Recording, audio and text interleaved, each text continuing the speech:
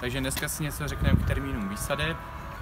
Máme tři možnosti. Máme rostlinu prostokořenou, rostlinu, která nemá, není obalená zemí ani květináčem. Schováme do stínu, na tu ať nesvítí.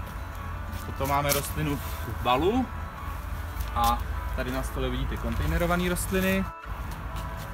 A ty rozdíly jsou veliký. Začneme aktuální prostokořenou rostlinou, takže to, co má jenom takhle holej kořen, se sází době, kdy to nemá listí. To znamená na podzim, když opadá listí, do doby, než zmrzne zem.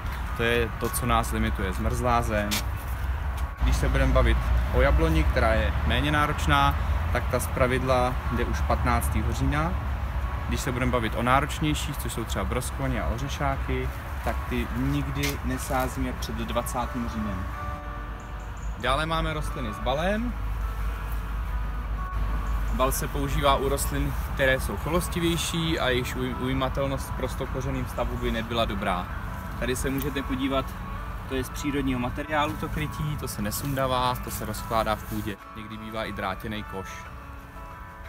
Termín výsadby se shoduje s prostokořenými rostlinami. Eh, říkal jsem, že pokud jsou opadané rostliny, jehličnany nám některé neopadávají, ale ten termín je tak, aby stihlo vyzrát dřevo, to bývá říjen. A největší rozdíl je v kontejnerovaných rostlinách.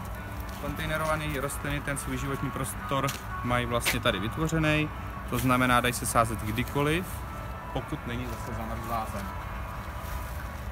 S tím, že každý rostlině je lépe v zemi, to znamená, pokud kontejnerovanou rostlinu zasadíme, má tam vyrovnanější klima. Tady, když se podíváte květináči, svítí sluníčko, je černá, nahřívá se, rychle vysychá, když je mráz, tak zase víc promrzá.